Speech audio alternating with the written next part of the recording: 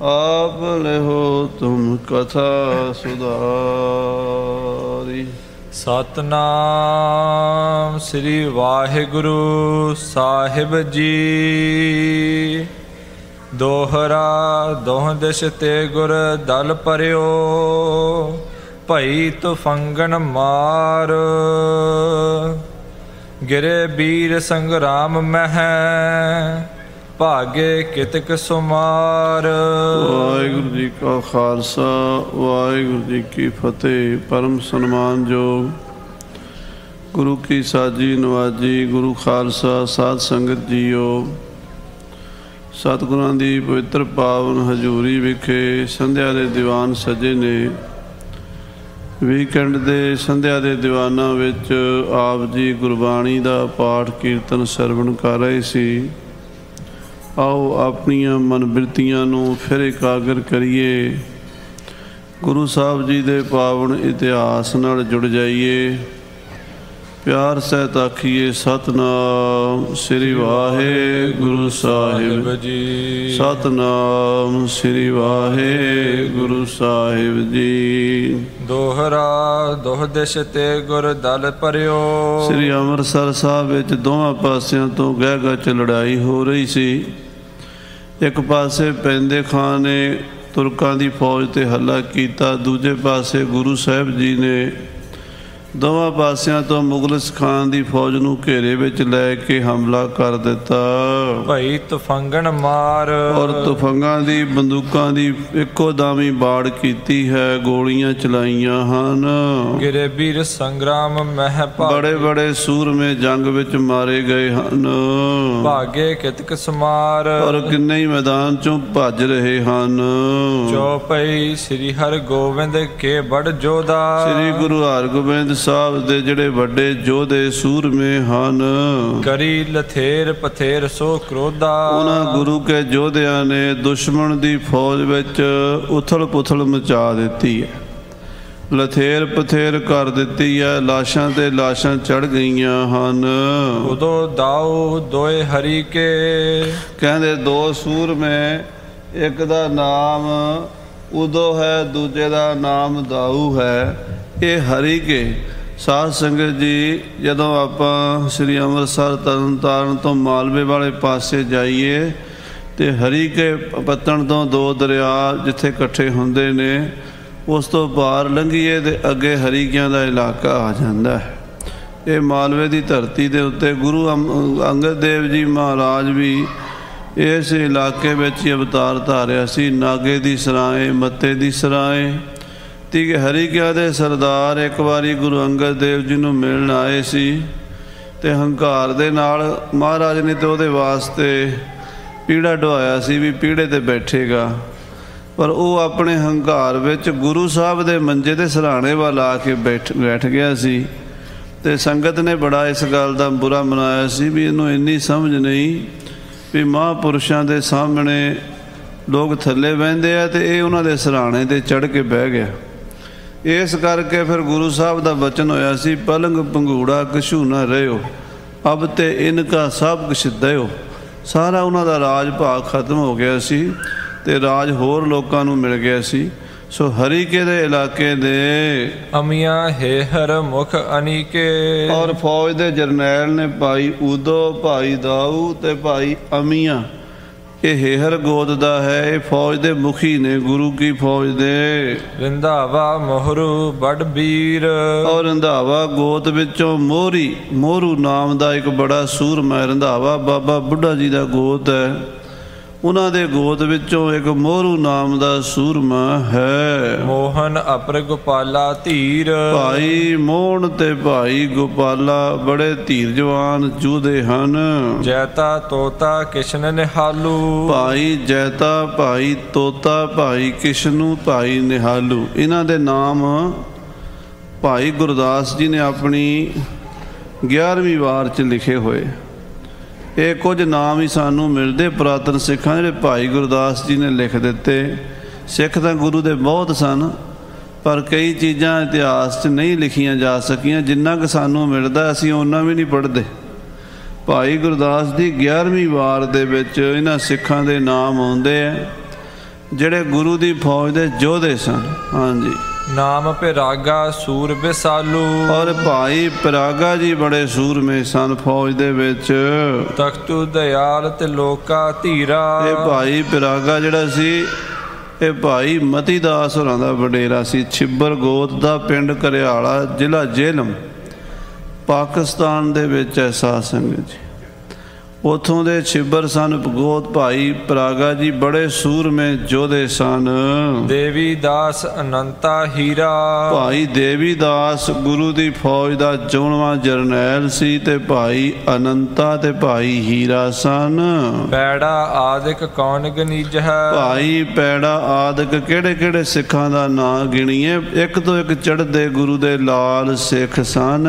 ਗੁਰ ਸੈਨਾ ਕੇ ਮੁਖ ਜਨੀਜ ਹੈ। ਇਹ ਗੁਰੂ ਦੀ ਫੌਜ ਦੇ ਜਥੇਦਾਰ ਸਨ ਮੁਖੀ ਸਨ ਜਿਨ੍ਹਾਂ ਦੇ ਕੋਲ ਮਹਾਰਾਜ ਦੀ ਫੌਜ ਦੀ ਜਥੇਦਾਰੀ ਸੀ ਕਮਾਂਡ ਸੀ। ਜਾਤੀ ਮਲਕ ਵਿਪਰ ਬੜ ਜੋਦਾ ਔਰ ਇਹਨਾਂ ਵਿੱਚੋਂ ਭਾਈ ਜਾਤੀ ਮਲਕ ਜਾਤ ਦਾ ਬ੍ਰਾਹਮਣ ਬਹੁਤ ਸੂਰਮਾ ਸੀ। ਸੋਢੀ ਬੰਸ ਸਭਨ ਕੋ ਪ੍ਰੋਦਾ ਤੇ ਸੋਢੀ ਮਹਾਰਾਜ ਸੱਚੇ ਪਾਤਸ਼ਾਹ ਜੀ ਦੇ ਜਿਹੜੀ ਕੁੱਲ ਹੈ ਗੁਰੂ ਰਾਮਦਾਸ ਜੀ ਦੀ ਉਸ ਕੁੱਲ ਦਾ ਇਹ ਪਰੋਤ ਸੀਗਾ। ਸੋਢੀ ਭਾਈ ਜਾਤੀ ਮਲਕ ਜਿਹੜਾ ਹੈ ਇਹ ਬ੍ਰਾਹਮਣ ਸੋਢੀ ਕੁੱਲ ਦਾ ਪਰੋਤ ਸੀ। ਜੇਠਾ ਵਿਧੀ ਚੰਦ ਬਲਵੰਤਾ। ਗੁਰੂ ਸਾਹਿਬ ਦੀ ਫੌਜ ਦੇ ਮਹਾਨ ਯੋਧੇ ਭਾਈ ਜੇਠਾ ਜੀ ਤੇ ਭਾਈ ਸਾਹਿਬ ਭਾਈ ਵਿਧੀ ਚੰਦ ਜੀ ਇੱਕ ਤੋਂ ਇੱਕ ਚੜ੍ਹਦੇ ਸੂਰਮੇ ਸਾਨੇ ਪੈਂਦੇ ਖਾਨ ਵੀਰ ਅਤਿਅੰਤਾ। ਇਹਨਾਂ ਸਾਰਿਆਂ ਵਿੱਚੋਂ ਸਿਰ ਕੱਢ ਸੂਰਮਾ ਪੈਂਦੇ ਖਾਨ ਨੂੰ ਮੰਨਿਆ ਜਾਂਦਾ ਸੀ। ਜਿਹਦੇ ਵਰਗਾ ਸੰਸਾਰ ਵਿੱਚ ਬਰਾਬਰ ਦਾ ਕੱਦ ਕਾਠ ਵਿੱਚ ਬਲੀ ਯੋਧਾ ਕੋਈ ਨਹੀਂ ਸੀ। ਪੈਂਦੇ ਖਾਂ ਵੀ ਭਾਈ ਵਿਧੀ ਚੰਦ ਵੀ ਭਾਈ ਜੇਠਾ ਜੀ ਇਹ ਸਾਰੇ ਬੜੇ ਗੁਰੂ ਦੀ ਫੌਜ ਦੇ ਮੋਹਰੀ ਯੋਧੇ ਸਨ। ਬਾਬਕ ਨਾਮ ਰਬਾਬੀ ਪਾਸ। ਤੇ ਸ੍ਰੀ ਹਰਮੰਦਰ ਸਾਹਿਬ ਦਾ ਕੀਰਤਨੀਆ ਭਾਈ ਬਾਬਕ ਜਾਤ ਦਾ ਮਿਰਾਸ਼ੀ ਸੀ। ਬੰਦੂਕ ਚਲਾਣ ਦੇ ਵਿੱਚ ਇਹਦਾ ਇੱਕ ਨੰਬਰ ਸੀਗਾ। ਜਿੱਥੇ ਕੀਰਤਨ ਦੇ ਵਿੱਚ ਇਹਦਾ ਇੱਕ ਨੰਬਰ ਸੀ ਗੁਰੂ ਰਾਮਦਾਸ ਦੇ ਦਰਬਾਰ 'ਚ ਕੀਰਤਨ ਕਰਦਾ ਸੀ ਹਰਮੰਦਰ ਸਾਹਿਬ ਭਾਈ ਬਾਬਕ। ਉੱਥੇ ਜਿੱਥੇ ਹਨੇਰੇ ਵਿੱਚ ਰਾਤ ਨੂੰ ਕਿਤੋਂ ਆਵਾਜ਼ ਆਉਂਦੀ ਹੋਵੇ ਜਿੱਥੋਂ ਆਵਾਜ਼ ਨਿਕਲੀ ਉੱਥੇ ਗੋਲੀ ਮਾਰ ਦਿੰਦਾ ਸੀ ਬਿਨਾਂ ਦੇਖਿਆ। ਇੰਨਾ ਉਹਦਾ ਇਕਾਗਰ ਮਨ ਸੀਗਾ। ਸੋ ਨਿਸ਼ਾਨੇਬਾਜ਼ ਸੀ। ਆਯੁਧ ਵਿਦਿਆ ਕੋ ਅਭਿਆਸ। ਇਹ ਸਾਰੇ ਸੂਰਮੇ ਸ਼ਸਤਰ ਵਿਦਿਆ ਵਿੱਚ ਇੱਕ ਤੋਂ ਇੱਕ ਚੜ੍ਹਦੇ ਸਨ। ਢਾਲ ਤਲਵਾਰ ਦੀ ਵਿਦਿਆ ਨੇਜ਼ਾਬਾਜੀ ਦੀ ਵਿਦਿਆ ਘੋੜਸਵਾਰੀ ਦੀ ਵਿਦਿਆ ਚੱਕਰ ਚਲਾਣਾ ਗੁਰਜ ਚਲਾਣੀ ਭਾਂਤ ਭਾਂਤ ਦੇ ਸ਼ਸਤਰ ਚਲਾਣੇ ਤੇ ਗੋਲੀ ਦੇ ਨਾਲ ਨਿਸ਼ਾਨਾ ਲਾਣਾ ਤੀਰ ਅੰਦਾਜ਼ੀ ਵਿੱਚ ਇਹ ਸਾਰੇ ਸੂਰਮੇ ਬਹੁਤ ਅਭਿਆਸੀ ਸਨ ਜੋਧੇ ਇਹ ਤਹ ਸਮੈ ਭਏ ਰੰਗ ਰੱਤੇ। ਉਸ ਵੇਲੇ ਇਹ ਸੂਰਮੇ ਸਾਧ ਸੰਗਤ ਜੀ ਵੀਰ ਰਸ ਵਿੱਚ ਰੱਤੇ ਹੋਏ ਸੀ। ਸਾਹਮਣੇ ਦੁਸ਼ਮਣ ਆ ਗਿਆ ਸੀ। ਤੇ ਦੁਸ਼ਮਣ ਨੂੰ ਵੇਖ ਕੇ, ਜੰਗ ਦੇ ਮੈਦਾਨ ਨੂੰ ਵੇਖ ਕੇ ਇਹਨਾਂ ਨੂੰ ਚਾਹ ਚੜਿਆ ਪਿਆ ਸੀ। ਮਹਾਰਾਜ ਦੀ ਬਾਣੀ ਚਾਹੁੰਦਾ ਰਣ ਦੇਖ ਸੂਰੇ ਚਿੱਤ ਉਲਾਸ। ਜੰਗ ਦਾ ਮੈਦਾਨ ਦੇਖ ਕੇ ਸੂਰਮਿਆਂ ਦੇ ਚਿੱਤ 'ਚ ਖੁਸ਼ੀ ਪੈਦਾ ਹੁੰਦੀ ਹੈ, ਚਾਹ ਚੜ ਜਾਂਦਾ। ਕਾਇਰਾਂ ਦੇ ਬੁੱਝਦਿਲਾਂ ਦੇ ਦਿਲ ਧੜਕੂ ਧੜਕੂ ਕਰਨ ਲੱਗ ਜਾਂਦੇ ਆ, ਉਹ ਡਰ ਜਾਂਦੇ। ਹੁਣ ਮਰ ਜਾਵਾਂਗੇ, ਮਾਰੇ ਜਾਵਾਂਗੇ। ਪਰ ਬਹਾਦਰਾਂ ਦੇ ਦਿਲ ਦੁੱਗਣੇ ਹੋ ਜਾਂਦੇ ਆ ਤੇ ਚਿਹਰੇ ਤੇ ਲਾਲੀਆਂ ਛਾ ਜਾਂਦੀਆਂ। ਇਹਨਾਂ ਸੂਰਮਿਆਂ ਨੂੰ ਚਾਹ ਚੜ ਗਿਆ ਵੀ ਅੱਜ ਗੁਰੂ ਸਾਹਿਬ ਦੇ ਸਾਹਮਣੇ ਮੈਦਾਨੇ ਜੰਗ ਵਿੱਚ ਵੈਰੀਆਂ ਨਾਲ ਦੋ ਦੋ ਹੱਥ ਕਰਨੇ ਤੇ ਵੈਰੀਆਂ ਨੂੰ ਤੇਗ ਦੀ ਧਾਰ ਪਾਰ ਲੰਘਾਣਾ ਹੈ। ਚਲੀ ਕਿਰਪਾਨੈ ਰਿਸ ਭਰ ਤੱਤੇ। ਬੜਾ ਗਹਿ ਗਜ ਯੁੱਧ ਸ਼ੁਰੂ ਹੋ ਗਿਆ।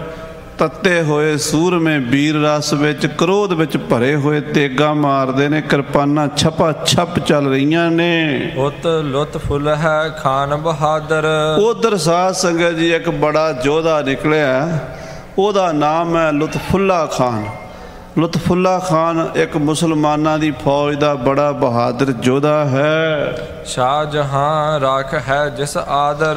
ਲੁਤਫੁੱਲਾ ਖਾਨ ਦਾ ਆਦਰ ਬਾਦਸ਼ਾਹ ਸ਼ਾਹਜਹਾਨ ਵੀ ਬੜਾ ਕਰਿਆ ਕਰਦਾ ਸੀ ਕਿਉਂਕਿ ਉਹ ਸਮਝਦਾ ਸੀ ਵੀ ਲੁਤਫੁੱਲਾ ਖਾਨ ਬੜੀਆਂ ਜੰਗਾਂ ਦਾ ਜੇਤੂ ਜਰਨੈਲ ਹੈ ਤਜਰਬੇਕਾਰ ਹੈ। ਪੁਨ ਇਸਮਾਇਲ ਖਾਨ ਚਮੂ ਪਤ। ਤੇ ਇੱਕ ਉਹਨਾਂ ਦੇ ਵਿੱਚ ਹੋਰ ਸੀਗਾ ਫੌਜ ਦਾ ਜਥੇਦਾਰ ਉਹਦਾ ਨਾਮ ਸੀ ਇਸਮਾਇਲ ਖਾਨ। ਇਸਮਾਇਲ ਖਾਨ ਤੇ ਲੁਤਫੁੱਲਾ ਖਾਨ ਇਹ ਬਾਦਸ਼ਾਹ ਸ਼ਾਹਜਹਾਨ ਦੀ ਫੌਜਾਂ ਵਿੱਚ ਕਈ ਲੜਾਈਆਂ ਜਿੱਤੇ ਹੋਏ ਸਨ। ਜੋ ਜਾਣਤ ਹੈ ਜੁਧ ਕਰਨ ਅਤ। ਇਹ ਲੁਤਫੁੱਲਾ ਖਾਨ ਤੇ ਇਸਮਾਇਲ ਖਾਨ ਲੜਾਈ ਦੀ ਵਿਦਿਆ ਜੰਗ ਦੀ ਵਿਦਿਆ ਪੜ੍ਹੇ ਹੋਏ ਸੀ ਜੰਗ ਦਾ ਨਾਂ ਹੀ ਬੁਰਾ ਹੁੰਦਾ ਸਾਧ ਸੰਗਤ ਜੀ ਯੁੱਧ ਕੀ ਬਾਤ ਬੁਰੀ ਸਭ ਤੇ। ਮਹਾਰਾਜ ਦਸਵੇਂ ਪਾਤਸ਼ਾਹ ਨੇ ਆਪਣੀ ਬਾਣੀ 'ਚ ਜੰਗਾਂ ਦਾ ਬੜਾ ਜ਼ਿਕਰ ਕੀਤਾ, ਸਾਰੀ ਬਾਣੀ ਵੀਰ ਰਸ ਦੀ ਲਿਖੀ ਹੈ। ਤੇ ਨਾਲ ਮਹਾਰਾਜ ਇਹ ਵੀ ਕਹਿੰਦੇ ਆ ਵੀ ਇਹ ਕੋਈ ਬੱਚ- ਬੱਚਿਆਂ ਦੀ ਖੇਡ ਨਹੀਂ, ਵੀ ਕਾਕਿਆਂ ਦੀ ਖੇਡ ਨਹੀਂ, ਵੀ ਜੰਗ ਦਾ ਮੈਦਾਨ। ਕਹਿੰਦੇ ਇਹ ਯੁੱਧ ਕੀ ਬਾਤ ਬੁਰੀ ਸਭ ਤੇ ਬੜੀ ਔਖੀ ਗੱਲ ਹੈ, ਡਾਢੀ ਗੱਲ ਹੈ। ਤੋ ਇਹ ਸੂਰਮੇ ਹੀ ਕਰ ਸਕਦੇ। ਧੰਨ ਕਲਗੀਆਂ ਵਾਲੇ ਪਾਤਸ਼ਾਹ ਮਹਾਰਾਜ, ਧੰਨ ਗੁਰੂ ਹਰਗੋਬਿੰਦ ਸਾਹਿਬ, ਇਹ ਖੇਡਾਂ ਖੇਡੀਆਂ, ਹਰ ਇੱਕ ਥੋੜਾ ਖੇਡ ਸਕਦਾ। ਤੋ ਸਾਧ ਸੰਗਤ ਜੀ ਇਹ ਸਾਰੇ ਸੂਰਮਿਆਂ ਨੂੰ ਜੰਗ ਦਾ ਚਾਹ ਚੜਿਆ। ਉਧਰ ਲੁਤਫੁੱਲੇ ਖਾਨ ਤੇ ਇਸਮਾਇਲ ਖਾਨ ਇਹ ਵੀ ਬੜੇ ਨਾਮੀ ਯੋਧੇ ਹਨ। ਦੁੰਦੇ ਖਾਨ ਬਹਾਦਰ ਖਾਨ। ਇੱਕ ਦਾ ਨਾਂ ਦੁੰਦੇ ਖਾਨ ਹੈ। ਦੁੰਦੇ ਖਾਨ ਤੇ ਬਹਾਦਰ ਖਾਨ ਦੂਸਰਾ ਇਸਮਾਇਲ ਖਾਨ ਤੀਸਰਾ ਲੁਤਫੁੱਲੇ ਖਾਨ ਚੌਥਾ ਇਹ ਵੱਡੇ ਵੱਡੇ ਜਰਨੈਲ ਹਨ, ਉਧਰ ਦੇ ਗੁਰੂ ਘਰ ਦੇ ਸਿੱਖਾਂ ਯੋਧਿਆਂ ਦਾ ਵੀ ਨਾਮ ਭਾਈ ਸਾਹਿਬ ਨੇ ਲਿਖਿਆ। ਕਵੀ ਰਾਜ ਭਾਈ ਸੰਤੋਖ ਸਿੰਘ ਜੀ ਇੱਕ ਇੱਕ ਗੱਲ ਨੂੰ ਲਿਖਦੇ, ਇੱਕ ਇੱਕ ਗੱਲ ਨੂੰ। ਉਹ ਕਿਸੇ ਗੱਲ ਨੂੰ ਛੱਡਦੇ ਨਹੀਂ। ਬੜੀ ਬਰੀਕੀ ਨਾਲ ਇਤਿਹਾਸ ਸਾਂਭਿਆ ਤੇ ਕਹਿੰਦੇ ਆ ਵੀ ਇੱਕ ਪਾਸੇ ਦੁੰਦੇ ਖਾਨ, ਬਹਾਦਰ ਖਾਨ, ਇਸਮਾਇਲ ਖਾਨ ਤੇ ਲੁਤਫੁੱਲੇ ਖਾਨ ਆ ਗਏ ਨੇ। ਦੂਜੇ ਪਾਸੇ ਭਾਈ ਤੋਤਾ ਭਾਈ ਨਵਲਾ ਭਾਈ ਨਿਹਾਲਾ ਭਾਈ ਮੋਹਣ ਭਾਈ ਗੋਪਾਲਾ ਭਾਈ ਜੇਠਾ ਭਾਈ ਬਿਧੀ ਚੰਦ ਭਾਈ ਪੈਂਦੇ ਖਾਨ। ਇਹ ਸੂਰਮੇ ਗੁਰੂ ਦੀ ਫੌਜ ਵਿੱਚ ਹਨ। ਇਤਿਆਦਿਕ ਬੜ ਵੀਰ ਪਠਾਨ। ਬੜੇ ਬੜੇ ਵੀਰ ਪਠਾਨ ਮੁਗਲ ਉਧਰ ਚੜ ਕੇ ਆਏ ਨੇ। ਸੈਯਦ ਇੱਕ ਦਿਦਰ ਦਿਦਾਰਲੀ ਭਾਰਾ। ਇਹਨਾਂ ਵਿੱਚੋਂ ਇੱਕ ਸ਼ੈਦ ਮੁਸਲਮਾਨ ਜਿਵੇਂ ਸਾਡੇ ਸਿੱਖਾਂ ਵਿੱਚ ਬੇਦੀਆਂ ਸੋਢੀਆਂ ਦਾ ਸਤਕਾਰ ਆਪਾਂ ਕਰਦੇ ਆਂ ਵੀ ਇਹ ਗੁਰੂ ਦੀ ਅੰਸ਼ ਬੰਸ ਨੇ। ਇਦਾਂ ਮੁਸਲਮਾਨਾਂ 'ਚ ਸ਼ਹੀਦਾਂ ਦਾ ਸਤਕਾਰ ਕਰਦੇ ਵੀ ਇਹ ਸ਼ਹੀਦ ਜਾਂ ਸੇਖ ਮੁਹੰਮਦ ਸਾਹਿਬ ਜੀ ਦੇ ਉਹਨਾਂ ਦੇ ਪਰਿਵਾਰ ਦੇ ਨਾਲ ਸੰਬੰਧ ਰੱਖਦੇ ਆ। ਸੋ ਉਹ ਸ਼ਹੀਦ ਇੱਕ ਦਿਦਾਰ ਅਲੀ ਉਹਦਾ ਨਾਮ ਸੀ ਦਿਦਾਰ ਅਲੀ ਬੜਾ ਜੋਧਾ ਸੀ। ਬਲੀ ਬੇਗ ਦਲ ਬੇਗ ਉਦਾਰਾ। ਬੜਾ ਬਲੀ ਸੀਗਾ। ਉਹਦੇ ਨਾਲ ਇੱਕ ਹੋਰ ਸੂਰਮਾ ਸੀ ਬਲੀ ਬੇਗ। ਇੱਕ ਦਾ ਨਾਂ ਸੀ ਦਲ ਬੇਗ। ਹਾਂਜੀ। ਇਸ ਤੇ ਆਦ ਮੁਗਲ ਸਿਰਦਾਰ। ਇਸ ਤੋਂ ਬਾਅਦ ਇੱਕ ਹੋਰ ਵੀ ਬੜੇ ਬੜੇ ਮੁਗਲ ਸਰਦਾਰ ਸਨ। ਜਿਨ ਸੰਗ ਸੈਨਾ ਕਈ ਹਜ਼ਾਰ। ਜਿਨ੍ਹਾਂ ਨਾਲ ਹਜ਼ਾਰਾਂ ਫੌਜਾਂ ਸੀ। ਕਈ ਹਜ਼ਾਰ ਪੂਰੀ 7000 ਇਹ ਫੌਜ ਲੈ ਕੇ ਆਏ ਸੀ।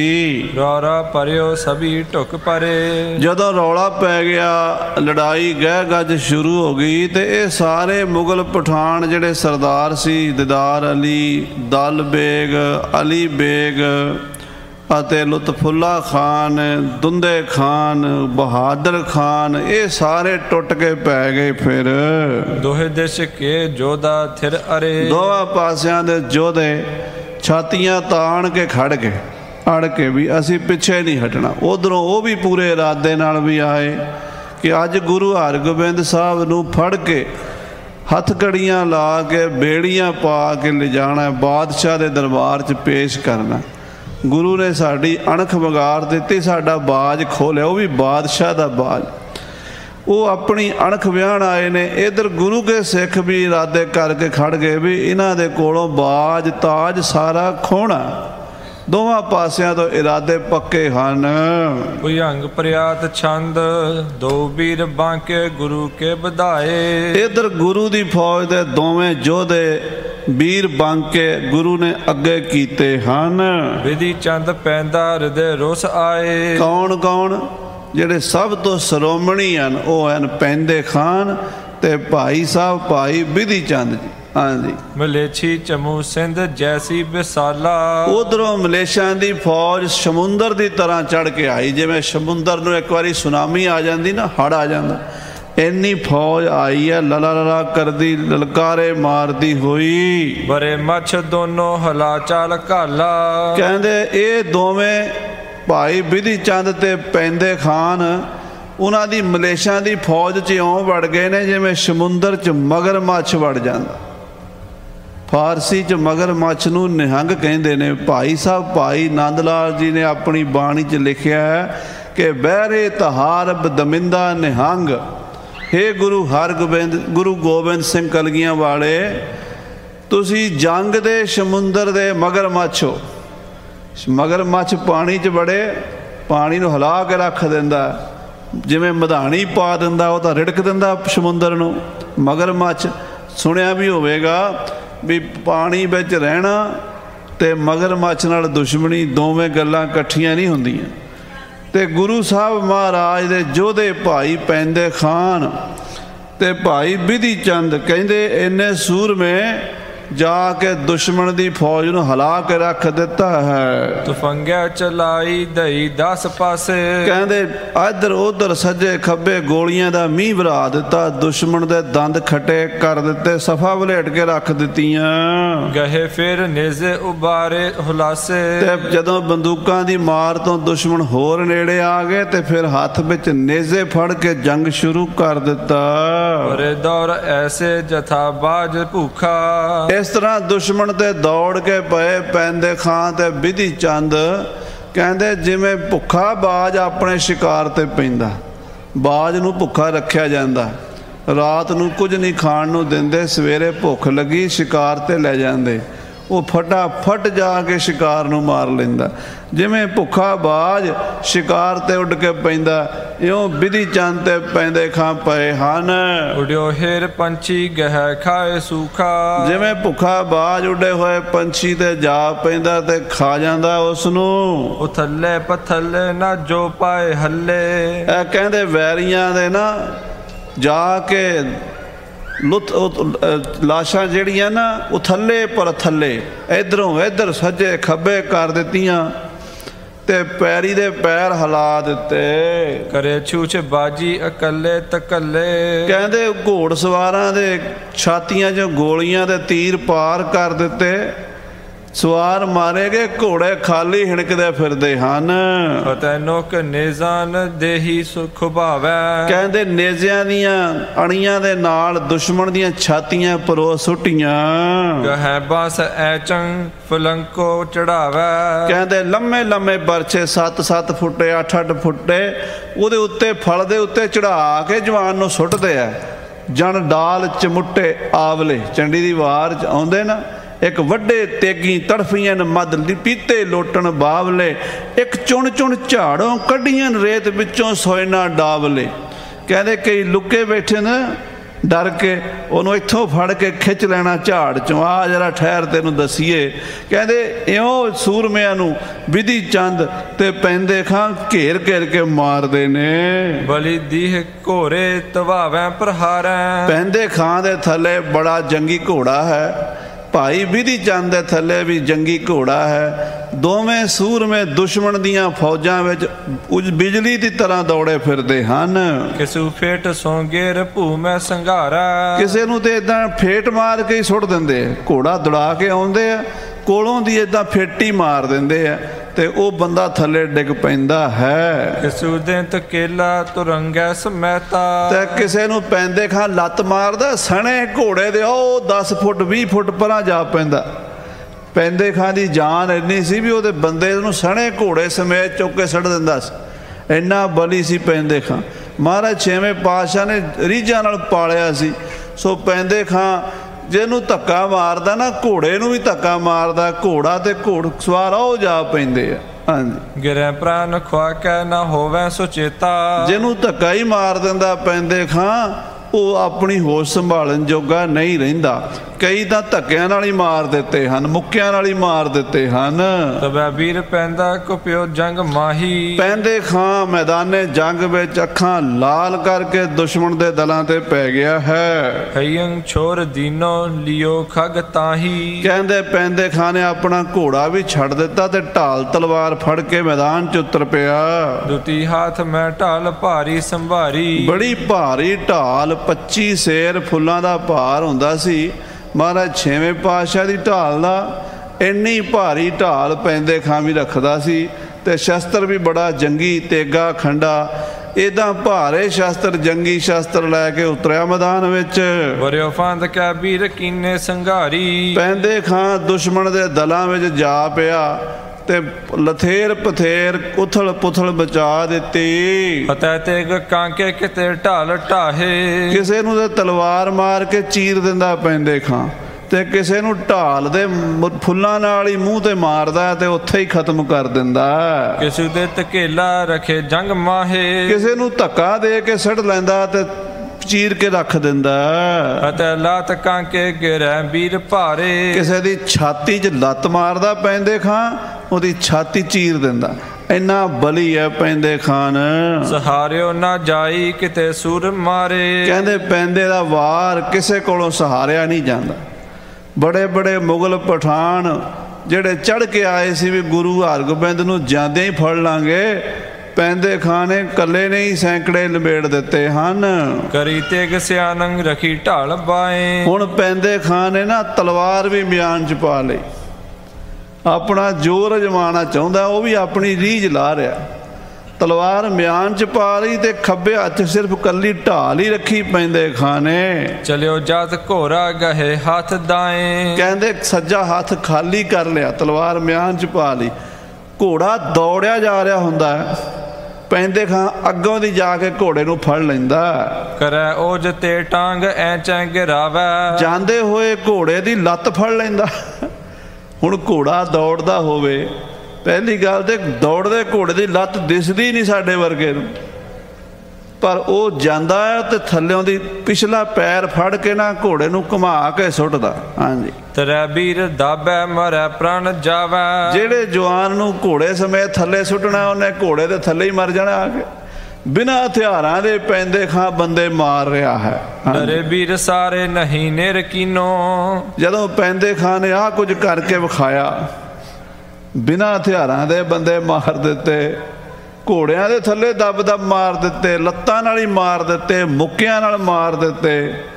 ਕਹਿੰਦੇ ਡਰ ਕੇ ਨਾ ਪਿੱਛੇ ਖਲੋ ਗਏ ਸਾਰੇ ਪੈਂਦੇ ਖਾਂ ਦੇ ਨੇੜੇ ਨਹੀਂ ਆਉਂਦਾ ਹੁਣ ਕੋਈ। ਖਰੇ ਦੂਰ ਗੋਰੀ ਚੱਲਾਵੈ ਸੋ ਚੀਨੋ। ਕਹਿੰਦੇ ਇਹਨੂੰ ਦੂਰੋਂ ਗੋਲੀਆਂ ਮਾਰ ਕੇ ਮਾਰ ਦਈਏ ਇਹ ਸਾਡੇ ਤੋਂ ਹੱਥਾਂ ਨਾਲ ਮਰਨ ਵਾਲਾ ਬੰਦਾ ਨਹੀਂ ਹੈ। ਤਬੈ ਧਾਏ ਘੋਰੇ ਚਰਿਓ ਵੀਰ ਪੈਂਦਾ। ਜਦੋਂ ਗੋਲੀਆਂ ਆਉਣ ਲੱਗੀਆਂ ਪੈਂਦੇ ਨੇ ਪੈਂਟਲਾ ਬਦਲਿਆ ਉੱਡਦੇ ਜਾਂਦੇ ਘੋੜੇ ਦੇ ਛਾਲ ਮਾਰ ਕੇ ਸਵਾਰ ਹੋ ਗਿਆ। ਦੌੜੇ ਜਾਂਦੇ ਘੋੜੇ ਦੇ ਉੱਤੇ ਚੜ ਜਾਣਾ ਪੈਂਦੇ ਖਾਂ ਵਾਸਤੇ ਖੱਬੇ ਹੱਥ ਦੀ ਖੇਡ ਸੀ। ਘੋੜਾ ਦੌੜਿਆ ਜਾ ਰਿਹਾ ਕੋਲੋਂ ਦੀ ਤੇ ਪੈਂਦਾ ਹੋ ਗਿਆ ਉੱਤੇ। ਇਦਾਂ ਪੈਂਦਾ ਘੋੜਾ ਲੈ ਕੇ ਦੁਸ਼ਮਣ ਤੋਂ ਨਿਕਲ ਗਿਆ। ਤੁਫੰਗੰ ਸੰਭਾਰੀ ਨਹੀਂ ਖੌਫ ਕੈਦਾ। ਕਿਸੇ ਦਾ ਡਰ ਨਹੀਂ ਮੰਨਦਾ ਪੈਂਦੇ ਖਾਂ। ਘੋੜੇ ਤੇ ਚੜ ਕੇ ਫਿਰ ਆਪਣੀ ਬੰਦੂਕ ਸੰਭਾਲ ਲਈ ਤੇ ਦੁਸ਼ਮਣ ਦੀਆਂ ਛਾਤੀਆਂ 'ਚ ਦਾਗਣ ਲੱਗਾ ਗੋਲੀਆਂ। ਨਰਾਜ ਛੰਦ ਭਰੇ ਪਠਾਨ ਕੋਪ ਮੈਂ ਫਿਰ ਸੋ ਮੋਰ ਖਾਏ ਕੈ। ਉਧਰੋਂ ਪਠਾਨ ਵੀ ਗੁੱਸਾ ਖਾ ਕੇ ਮੁੜੇ ਨੇ ਪਿੱਛੇ। ਤੜਾ ਪੜੀ ਤਫੰਗ ਤੇ ਮਚਾਏ ਵੀਰ ਘਾਏ ਕੈ। ਇਧਰੋਂ ਪੈਂਦੇ ਖਾਂ ਨੇ ਗੋਲੀਆਂ ਦਾ ਮੀਂਹ ਭਰਾ ਦਿੱਤਾ ਉਧਰੋਂ ਉਹਨਾਂ ਨੇ ਗੋਲੀਆਂ ਚਲਾਣੀਆਂ ਸ਼ੁਰੂ ਕਰ ਦਿੱਤੀਆਂ। ਇਤੇ ਗੁਰੂ ਅਗਾਰ ਕੋ ਸਿਦਾਰ ਪਾਉਣ ਡਰ ਕੈ। ਜਿਨੇ ਇਧਰ ਮਹਾਰਾਜ ਛੇਵੇਂ ਪਾਤਸ਼ਾਹ ਘੋੜੇ ਤੇ ਚੜੇ ਤੇ ਕਦਮ ਅੱਗੇ ਕਰ ਰਹੇ ਨੇ ਦੁਸ਼ਮਣ ਵੱਲ ਵਧ ਰਹੇ ਨੇ। ਪਰੇ ਜੁਝਾਰ ਦੌਰ ਕੇ ਕਿਰਪਾਨ ਕੋ ਪ੍ਰਹਾਰ ਕੈ। ਗੁਰੂ ਸਾਹਿਬ ਨੂੰ ਮੈਦਾਨੇ ਜੰਗ 'ਚ ਖੜਿਆਂ ਵੇਖ ਕੇ ਸਿੱਖਾਂ ਦੇ ਹੌਸਲੇ ਦੁੱਗਣੇ ਚੌਗਣੇ ਹੋ ਗਏ ਤੇਗਾਂ ਧੂ ਕੇ ਦੁਸ਼ਮਣ ਦੇ ਗਲ ਪੈ ਗਏ। ਤੁਰੰਗ ਸੰਗ ਅੰਗ ਭੰਗ ਸੂਰ ਪ੍ਰਾਨ ਛੋਰ ਕੈ। ਕਈ ਸੂਰਮਿਆਂ ਦੀਆਂ ਗੋਲੀਆਂ ਛਾਤੀਆਂ ਨਾਲ ਛਾਨਣੀ ਹੋਈਆਂ ਤੇ ਕਈ ਘੋੜੇ ਸ਼ਹੀਦ ਹੋ ਗਏ। ਭਏ ਅਰੋਹ ਦੇਵ ਲੋਕ ਸ਼ੋਕ ਤਿਆਗ ਲੋਰ ਕੈ। ਕਹਿੰਦੇ ਸੂਰਮੇ ਵਿਮਾਨਾਂ ਤੇ ਬਹਿ ਕੇ ਦੇਵਲੋਕ ਨੂੰ ਸੱਚਖੰਡ ਨੂੰ ਜਾ ਰਹੇ ਨੇ। ਆਪਣੇ ਜੀਵਨ ਦੀ ਯਾਤਰਾ ਪੂਰੀ ਕਰ ਗਏ ਨੇ ਸ਼ਹੀਦੀਆਂ ਪਾ ਗਏ ਨੇ। ਫਿਰ ਇੱਕ ਬੰਦ ਅੰਧ ਸੇ ਘਰੈਂ ਪਵਾਰ ਖਾਏ ਕੈ ਕਹਿੰਦੇ ਸਿਰ ਵੱਢੇ ਗਏ ਨੇ। ਤੇ ਧੜ ਮੈਦਾਨੇ ਜੰਗ 'ਚ ਭਵਾਟਣੀਆਂ ਖਾ ਕੇ ਡਿੱਗ ਰਹੇ ਨੇ। ਪੁਕਾਰ ਪੁਕਾਰ ਮਾਰ ਮਾਰ ਕੇ ਕਟੈ ਕਿਰਪਾਨ ਘਾਏ ਕੈ ਮਾਰ ਲਓ ਮਾਰ ਲਓ ਫੜ ਲਓ ਇਦਾਂ ਨਾਰੇ ਮਾਰਦੇ ਨੇ ਗਰਜਦੇ ਨੇ ਸ਼ੇਰਾਂ ਤਰ੍ਹਾਂ। ਕੋਈ ਸਤਿ ਸ੍ਰੀ ਅਕਾਲ ਦੇ ਜਕਾਰੇ ਲਾਂਦਾ ਹੈ ਤੇ ਕੋਈ ਯਾ ਅਲੀ ਯਾ ਮੁਹੰਮਦ ਦੇ ਜਕਾਰੇ ਲਾਂਦਾ ਹੈ। ਕਟੈ ਸਕੰਦ ਦੰਡ ਬਾਹੋ ਹਾਥ ਅੰਗੁਰੀਨ ਤੇ। ਕਿਸੇ ਦਾ ਮੋਢਾ ਕਿਸੇ ਦਾ ਡੌਲਾ, ਕਿਸੇ ਦੀ ਕੋਣੀ, ਕਿਸੇ ਦਾ ਪਹੁੰਚਾ ਵੱਢਿਆ ਗਿਆ। ਕਿਸੇ ਦੇ ਪੱਟ ਦੇ ਵਿੱਚ ਗੋਲੀ ਵੱਜੀ ਹੈ। ਕਿਸੇ ਦੇ ਪੇਟ ਵਿੱਚ ਗੋਲੀ ਵੱਜੀ ਹੈ ਕਿਸੇ ਦੇ ਬਰਛਾ ਵੱਜਾ ਤੇ ਸਾਰੀਆਂ ਆਂਦਰਾਂ ਪੇਟ ਦੀਆਂ ਨਿਕਲ ਗਈਆਂ ਬਾਹਰ। ਗਿਰੰਤ ਸੀਸ ਗਰੀਬ ਤੇ ਕਿ ਤੁੰਡ ਕਾਟ ਦੀਨ ਤੇ। ਆ ਕਿਸੇ ਦੀਆਂ ਉਂਗਲਾਂ ਵੱਡੀਆਂ ਗਈਆਂ ਕਿਸੇ ਦੇ ਧੌਣ ਤੇ ਵੱਜੀ ਤਲਵਾਰ ਸਿਰ ਲੈ ਕੇ ਔ ਜਿਹਾ ਪਿਆ ਤੇ ਧੜ ਵੱਖਰਾ ਹੋ ਗਿਆ।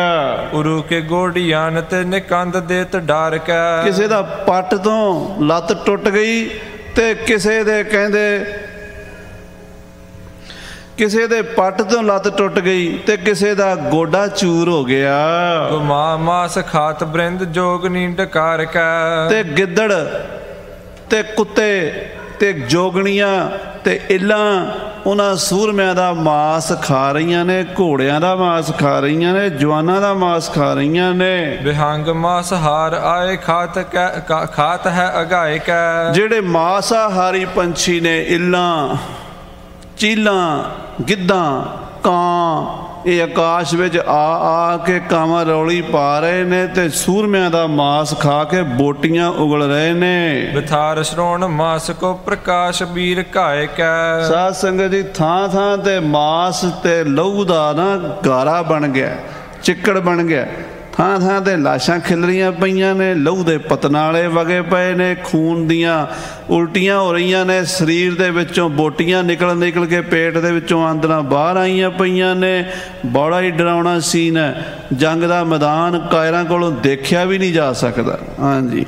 ਕਰੰਤ ਲੋਥ ਪੋਥ ਨਾ ਤੋ ਰੰਗ ਛੂਛ ਦੌਰ ਤੇ। ਲਾਸ਼ਾਂ ਤੇ ਲਾਸ਼ਾਂ ਗੁੱਥਮ ਗੁੱਥਾ ਹੋਈਆਂ ਪਈਆਂ ਨੇ। ਕਿਸੇ ਦਾ ਸਿਰ ਲਾਸ਼ਾਂ ਦੇ ਥੱਲੇ ਫਸਿਆ ਤੇ ਧੜ ਬਾਹਰ ਤੜਫ ਰਿਹਾ ਤੇ ਕਿਸੇ ਦੀ ਲੱਤ ਵਿੱਚ ਫਸੀ ਹੋਈ ਆ ਤੇ ਉਹ ਕਹਿੰਦਾ ਮੈਨੂੰ ਕੱਢੋ ਤੇ ਕਿਸੇ ਦੀ ਲੱਤ ਟੁੱਟੀ ਹੋਈ ਆ, ਉਹ ਤੁਰ ਨਹੀਂ ਸਕਦਾ। ਕੋਈ ਵਿਚਾਰਾ ਡਿੱਗਾ ਸੀ, ਸੱਟ ਖਾ ਕੇ ਉਤੋਂ ਘੋੜੇ ਲੰਘ ਗਏ ਨੇ, ਉਹ ਦਰੜਿਆ ਗਿਆ ਹੈ। ਤੇ ਸਾਧ ਸੰਗਤ ਜੀ, ਲਾਸ਼ਾਂ ਲੋਥਪੋਥ ਨੇ ਤੇ ਤੁਰੰਗ ਛੂਛ ਦੌਰ ਤੇ ਘੋੜੇ ਖਾਲੀ ਦੌੜੇ ਫਿਰਦੇ ਨੇ ਮਲ- ਵਾਲੀ ਵਾਰਸ ਤੋਂ ਬਿਨਾ। ਪ੍ਰਹਾਰ ਤੇ ਕਿਰਪਾਨ ਆਨ ਤਿਆਗ ਨਾਹਿ ਠੌਰ ਤੇ। ਕਿ ਮਿਆਨ ਵਿੱਚੋਂ ਤੇਗਾਂ ਕੱਢ ਕੱਢ ਕੇ ਸੂਰਮੇ ਮਾਰਦੇ ਨੇ ਇੱਕ ਦੂਜੀ ਨੂੰ ਤੇ ਮੈਦਾਨ ਛੱਡਦੇ ਨਹੀਂ। ਹਜ਼ਾਰ ਹੀ ਮਲੇਛ ਮਾਰ ਸ੍ਰੀ ਗੁਰੂ ਪ੍ਰਹਾਰ ਤੇ। ਧੰਨ ਗੁਰੂ ਹਰਗੋਬਿੰਦ ਸਾਹਿਬ ਤੀਰਾਂ ਦੀ ਲਗਾਤਾਰ ਵਰਖਾ ਕਰੀ ਜਾਂਦੇ ਐ ਤੇ ਹਜ਼ਾਰਾਂ ਮਲੇਸ਼ਾਂ ਨੂੰ ਮਾਰੀ ਜਾਂਦੇ ਐ। ਵਿਸਾਲ ਚਾਂਪ ਐਂਚ ਐਂਚ ਤੀਰ ਵੀਰ ਡਰ ਤੇ। ਨੌ ਟੰਗਾ ਧਨੁਸ਼ ਹੈ ਸਤਿਗੁਰਾਂ ਦਾ। ਸਾਧ ਸੰਗਤ ਜੀ ਇੱਥੇ ਤੁਹਾਡੇ ਪੌਂਡਾਂ ਦਾ ਹਿਸਾਬ ਹੈ, ਤੀਰ ਕਮਾਨ ਜਿਹੜੇ ਚਲਾਉਂਦੇ ਨੇ ਗੋਰੇ ਹੱਦ ਤੋਂ ਹੱਦ 300 ਪੌਂਡ ਤੱਕ ਇਹ ਜ਼ਿਆਦਾ ਕਹਿੰਦੇ ਆ ਵੀ ਚੰਗਾ ਜਿਹੜਾ ਜ਼ੋਰ ਵਾਲਾ ਪ- ਬੰਦਾ ਉਹ ਚਲਾ ਸਕਦਾ। ਪਰ ਗੁਰੂ ਸਾਹਿਬ ਜੀ ਦਾ ਜਿਹੜਾ ਕਮਾਨ ਸੀ ਨਾ, ਉਹਨੂੰ 225 225 ਕਿਲੋ ਭਾਰ ਪਾਈਏ ਨਾ, ਯਾਨੀ ਕਿ ਅੱਜ 5-600 ਪੌਂਡ ਦਾ ਬਣ ਜਾਂਦਾ, ਸਮਝ ਲਓ। ਉਹ ਇੰਨਾ ਕੁ ਮਾੜਾ ਜਿਹਾ ਲਚਕ ਦਿੰਦਾ ਸੀਗਾ, ਮਾੜੀ ਜੀ। ਤੇ ਫਿਰ ਗੁਰੂ ਸਾਹਿਬ ਨੂੰ ਉਹਦੇ ਤੇ ਚਿੱਲਾ ਚਾੜ ਕੇ ਫਿਰ ਉਹਨੂੰ ਕੰਨਾਂ ਦੇ ਖਿੱਚ ਕੇ ਤੀਰ ਛੱਡਦੇ ਸੀ। 7 ਮੀਲ ਤੱਕ ਤੀਰ ਦੀ ਰੇਂਜ ਪੈਂਦੀ ਸੀ। ਜਿਹੜਾ ਉਹਦੇ ਵਿੱਚ ਆ ਗਿਆ ਉਹ ਪਾਰ ਹੈ। 2 4 5 ਤੇ ਬੰਦੇ ਜਿਹੜੇ ਆਮ ਗੱਲ ਸੀ ਦਸਾਂ ਦਸਾਂ ਤੱਕ ਮਹਾਰਾਜ ਦਾ ਤੀਰ ਲੰਘ ਜਾਂਦਾ ਸੀ। ਪੁਲਾਦ ਭੱਲੇ ਤੀਖ ਨਾ ਲੱਗੈ ਸਜੋਰ ਜਾਏ ਕੈ। ਕਹਿੰਦੇ ਜਿਨ੍ਹਾਂ ਦੇ ਫੁਲਾਦ ਦੀਆਂ ਮੁਖੀਆਂ ਇੱਕ ਲੋਹਾ ਹੁੰਦਾ ਉਹਨੂੰ ਫੁਲਾਦ ਕਹਿੰਦੇ। ਉਹ ਲੋਹਾ ਬਹੁਤ ਸਖਤ ਹੁੰਦਾ। ਫੁਲਾਦ ਦੀਆਂ ਤੀਰਾਂ ਦੀਆਂ ਮੁਖੀਆਂ ਜਿਹਨੂੰ ਲੱਗਦੀਆਂ ਨੇ ਵਿੱਚੋਂ ਪਾੜ ਕੇ ਸੁੱਕਾ ਹੀ ਤੀਰ ਅੱਗੇ ਲੰਘ ਜਾਂਦਾ ਹੈ। ਤੁਰੰਗ ਸੂਰ ਬੀਚ ਕੋ ਪਰਸ ਪਾਰ ਘਾਏ ਕੈ। ਭਾਵੇਂ ਕਿਸੇ ਜਵਾਨ ਨੂੰ ਲੱਗੇ ਭਾਵੇਂ ਕਿਸੇ ਘੋੜੇ ਨੂੰ ਲੱਗੇ ਸੁੱਕਾ ਤੀਰ ਸਾਰ ਪਾਰ ਅੱਗੇ ਜਾ ਕੇ ਲੱਗਦਾ ਦੂਸਰੇ ਤੀਸਰੇ ਨੂੰ। ਨਾ ਪਾਨ ਫੇਰ ਜਾਚ ਤੇ ਨਾ ਪ੍ਰਾਨ ਦੇਹ ਧਾਰ ਤੇ। ਆਹਾ ਜਿਨ੍ਹਾਂ ਨੂੰ ਛੇਵੇਂ ਪਾਤਸ਼ਾਹ ਦਾ ਤੀਰ ਲੱਗਦਾ ਉਹ ਪਾਣੀ ਮੰਗਣ ਜੋਗੇ ਨਹੀਂ ਰਹਿੰਦੇ। ਉਹ ਇਹ ਨਹੀਂ ਕਹਿੰਦੇ ਹਾਏ ਅੰਮਾ ਹਾਏ ਪਾਣੀ ਮੂੰਹ ਤੋਂ ਨਿਕਲ ਨਹੀਂ ਦਿੰਦੇ। ਕਹਿੰਦੇ ਨਾ ਪ੍ਰਾਣ ਫੇਰ ਧਾਰ ਤੇ। ਦੂਜਾ ਤੇ ਸਾਹ ਨਹੀਂ ਲੈਣ ਦਿੰਦਾ ਗੁਰੂ ਦਾ ਤੀਰ ਇੱਕੋ ਤੀਰ ਨਾਲ ਹੀ ਪਾਰ ਕਰ ਦਿੰਦੇ ਆ। ਭਈ ਪਿਆਨ ਭੂਮਿਕਾ ਪਗੈਲ ਭੈ ਸਿਧਾਰ ਤੇ। ਕਹਿੰਦੇ ਸ੍ਰੀ ਅੰਮ੍ਰਿਤਸਰ ਪਿੱਪਲੀ ਸਾਹਿਬ ਤੋਂ ਲੈ ਕੇ ਸੰਗਰਾਣਾ ਸਾਹਿਬ ਤੱਕ ਜਿੰਨੀ ਜ਼ਮੀਨ ਹੈ ਆ ਪਰਲਾ ਅੰਮ੍ਰਿਤਸਰ ਦਾ ਪਾਸਾ ਲੋਹਗੜ੍ਹ ਕਿਲੇ ਤੋਂ ਲੈ ਕੇ ਛਿਆਟਾ ਸਾਹਿਬ ਵਾਲੇ ਪਾਸੇ ਨੂੰ ਚਲੇ ਜਾਓ, ਬਾਸਰਕੇ ਨੂੰ ਚਲੇ ਜਾਓ, ਇਧਰ ਬਾਬਾ ਦੀਪ ਸਿੰਘ ਹੋਰਾਂ ਦਾ, ਜਿੱਥੇ ਸੰਗਰਾਣਾ ਸਾਹਿਬ ਟਾਲਾ ਸਾਹਿਬ, ਇਹ ਗੁਰਦੁਆਰੇ, ਇਹ ਸਾਰਾ ਮੈਦਾਨ ਜੰਗ ਦਾ। ਉਦੋਂ ਪਿੰਡ, ਸ਼ਹਿਰ ਤਾਂ ਇੰਨਾ ਵਸਿਆ ਨਹੀਂ ਸੀ ਨਾ ਥੋੜੇ ਘਰ ਸੀਗੇ, ਬਾਕੀ ਤੇ ਮੈਦਾਨ ਪਿਆ ਸੀ ਖਾਲੀ। ਉਹ ਮੈਦਾਨੇ ਜੰਗ ਵਿੱਚ ਧਰਤੀ ਲਾਲ ਹੋ ਗਈ ਹੈ, ਭਿਆਨਕ ਹੋ ਗਈ ਹੈ ਦੇਖਣ ਵਾਲਿਆਂ ਦੇ ਦਿਲ ਦਹਿਲ ਜਾਂਦੇ ਨੇ ਇੰਨੀਆਂ ਲਾਸ਼ਾਂ ਖਿਲਰੀਆਂ ਪਈਆਂ ਨੇ। ਵਿਸਾਲ ਵੀਰ ਬਾਂਕਰੇ ਨਾ ਹਾਂ ਕਰੇ ਹੰਕਾਰ ਤੇ। ਵਿਸਾਲ ਵੀਰ ਬਾਂਕਰੇ ਬੜੇ ਬੜੇ ਬਾਂਕੇ ਗੱਭਰੂ ਜੋਧੇ। ਕੋਈ 22 ਸਾਲਾਂ ਦਾ ਕੋਈ 24 ਸਾਲਾਂ ਦਾ ਕੋਈ 30 ਸਾਲਾਂ ਦਾ ਕੋਈ 50 ਸਾਲ ਤੋਂ ਸਾਰੇ ਥੱਲੇ। ਤੇ ਬੜੇ ਬੜੇ ਸੂਰਮੇ ਮੈਦਾਨੇ ਜੰਗ 'ਚ ਲੜ ਲੜ ਕੇ ਮਰ ਰਹੇ ਨੇ। ਪ੍ਰਚਾਰ ਤੇ ਪ੍ਰਹਾਰ ਤੇ ਸੁਮਾਰ ਤੇ ਨਾ ਹਾਰ ਤੇ। ਲਲਕਾਰ ਕੇ ਆ ਮੇਰੇ ਸਾਹਮਣੇ ਆ ਤੈਨੂੰ ਮੈਂ ਦੇਖਾਂ ਇਉਂ ਲਲਕਾਰ ਕੇ ਫਿਰ ਮਾਰਦੇ ਨੇ ਨਾ ਹਾਰ ਤੇ ਹਾਰ ਨਹੀਂ ਮੰਨਦੇ ਪਿੱਛੇ ਨਹੀਂ ਹਟਦੇ ਸੂਰਮੇ ਹਾਂਜੀ। ਭੁਜੰਗ ਪ੍ਰਿਆਤ ਛੰਦ ਪੁਨੰਕੀਨ ਹੱਲਾ ਜੋ ਸੈਨਾ ਪਠਾਨੀ। ਸਾਧ ਸੰਗਤ ਜੀ ਫਿਰ ਪਠਾਣਾ ਦੀ ਫੌਜ ਨੇ ਜ਼ੋਰ ਦਾ ਹੱਲਾ ਬੋਲਿਆ। ਗੁਰੂ ਔਰ ਆਏ ਬੜੇ ਵੀਰ ਮਾਨੀ। ਬੜੇ ਹੰਕਾਰ ਦੇ ਨਾਲ ਪਠਾਨ ਭਰੇ ਹੋਏ। ਪਠਾਣਾ ਨੂੰ ਇਹ ਮਾਣ ਹੈ ਵੀ ਸਾਡੇ ਵਰਗਾ ਕੋਈ ਸੂਰਮਾ ਨਹੀਂ। ਪਾਕਿਸਤਾਨ ਜਦੋਂ ਬਣਿਆ ਉਦੋਂ ਸਾਡੇ ਬਜ਼ੁਰਗ ਪਾਕਿਸਤਾਨ ਚੋਂ ਆਏ ਸੀ।